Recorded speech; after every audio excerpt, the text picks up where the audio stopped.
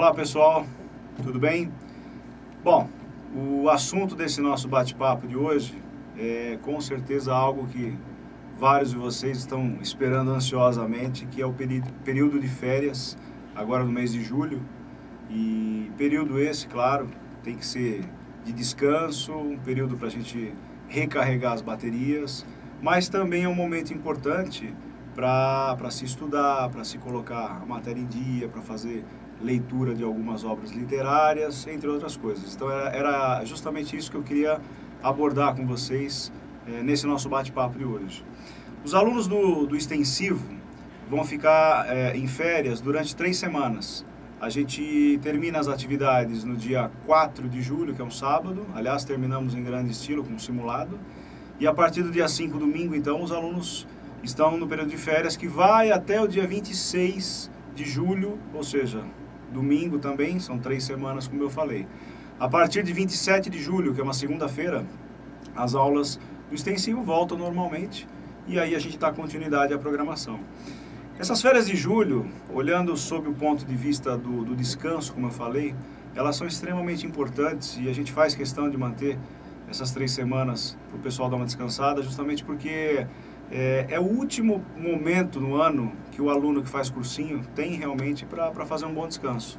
Se vocês se lembrarem bem, as aulas do cursinho elas vão até é, a virada do ano e elas emendam com os grandes vestibulares, né? Você pega, por exemplo, o, próprio Enem que começa no finalzinho de outubro, na sequência já vem uh, Unesp, uh, Unicamp, Fuvest e todos os outros vestibulares, sejam de escolas públicas ou de escolas particulares, né? Nessa época que vai de novembro a dezembro e até janeiro. A própria Fuvest Unicamp tem as segundas fases no mês de janeiro, outros exames importantes, como a própria Faculdade de Medicina do ABC, que também mantém exame em janeiro e assim por diante. Então, é, aquele período de férias de final de ano, que o aluno já se habituou durante a, a vida escolar dele, né, que, é o, que é o recesso que, que, que envolve aquele momento do Natal, do, do Réveillon e até é, mais, um período maior aí no mês de, de, de janeiro, etc e tal, os alunos vestibulandos, eles não têm esse período esse ano, justamente por, por isso que eu falei, né? Aulas, né? provas e tudo isso acontecendo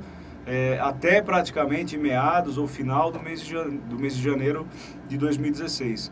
Então, o último momento que o, o aluno tem para realmente dar uma descansada é o mês de julho e a gente precisa desse descanso. É muito importante que o aluno realmente é, se desligue um pouco dessa rotina agitada, dessa rotina é, que ele tem é, com, com excesso de atividades, que é natural né, do, do, do, aluno que faz cursinho. Agora, a gente precisa tomar muito cuidado, eu costumo brincar com os alunos e falar o seguinte, né, descansar não é hibernar. Né? Então, não adianta o aluno falar assim, bom, dia 5 de, de, de julho o Marcelo falou que eu posso me enfiar no meu quarto e eu posso ficar lá, eu vou abrir a porta só dia 27 de julho para voltar para o cursinho, né? de jeito nenhum. A ideia é a gente ter um equilíbrio, como em tudo aquilo que a gente faz no ano preparatório para o vestibular. Então a gente recomenda que os alunos não se desliguem totalmente dos estudos em hipótese alguma. Né? Tem que manter uma rotina diária de estudos, claro, não tão intensa quanto a rotina do dia a dia é, em que ele está tendo aula.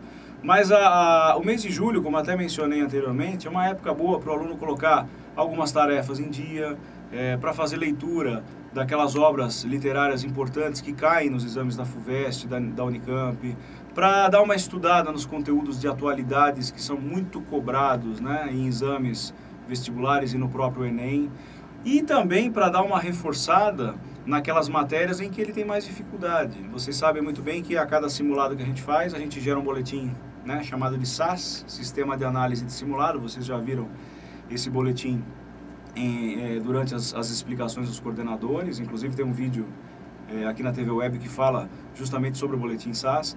Aquele boletim, como já foi falado para vocês, ele é um termômetro, ele mostra claramente as matérias em que você está tendo talvez mais dificuldade, que você não está conseguindo acompanhar direito, ou de repente matérias que necessitam de uh, um estudo um pouquinho mais aprofundado, você fazer uma revisão de conteúdos que os professores já, já ministraram. Então, utilize aquele boletim também para isso nessa época de julho. Né? Vamos ver as matérias que eu estou com mais dificuldade, as matérias que eu tenho acertado menos questões no simulado e talvez vamos montar um projeto, um planejamento de estudo no período de férias. Dá para dormir até mais tarde, dá para descansar bastante, né? mas sem desligar é, o motor aí do vestibular. É muito importante que o aluno saiba equilibrar essas duas coisas. Não é nem 8 nem 80, né? Não tem, também não podemos achar que o aluno na, no mês de férias ele vai falar assim, bom, agora eu vou ralar de estudar das 7 da manhã até a meia-noite, tudo aquilo que eu, eu não consegui colocar em dia no primeiro semestre, né? Agora eu vou me matar. De jeito nenhum, né? Tá indo contra aquela primeira parte desse nosso papo, que é a parte do descanso. Né? Então, tudo de uma maneira muito equilibrada. Monta uma agendinha de estudos, um cronograma de estudos, né? algumas horas por dia. Não dá para se falar em número de horas, isso é algo muito pessoal. Né? Eu acho que cada um tem que montar o seu projeto. Se for o caso, é, utilize os coordenadores de vocês é, para ajudar a montar esse projeto de estudos. A, os coordenadores, claro, têm muita experiência nisso e podem ajudar, sem dúvida nenhuma.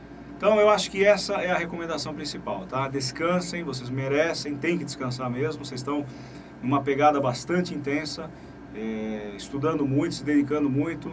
Então, tem que descansar. Mas, por outro lado, né, não vamos nos desgrudar dos livros, das apostilas é, fazendo o estudo, fazendo uma revisão, sempre pensando naquela balança que eu falei, equilibrando esses dois pratos, tá certo?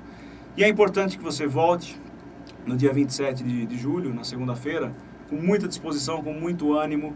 A gente vai apresentar é, logo nos primeiros dias de aula todo o planejamento é, que vai acontecer no segundo semestre. O segundo semestre é uma época mais intensa, é uma época que até sob o aspecto emocional exige mais da gente, por quê? Porque a gente vai vendo que o vestibular começa a ser algo próximo.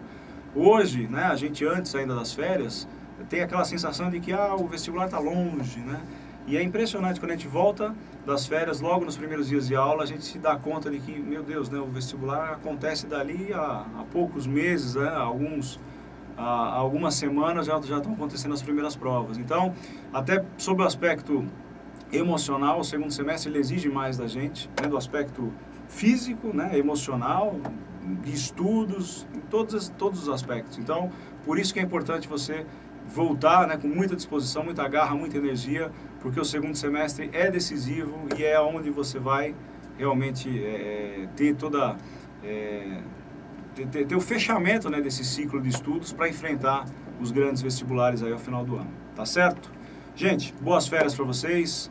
Um abraço e a gente se vê logo aí no, no finalzinho do mês de julho. Até mais.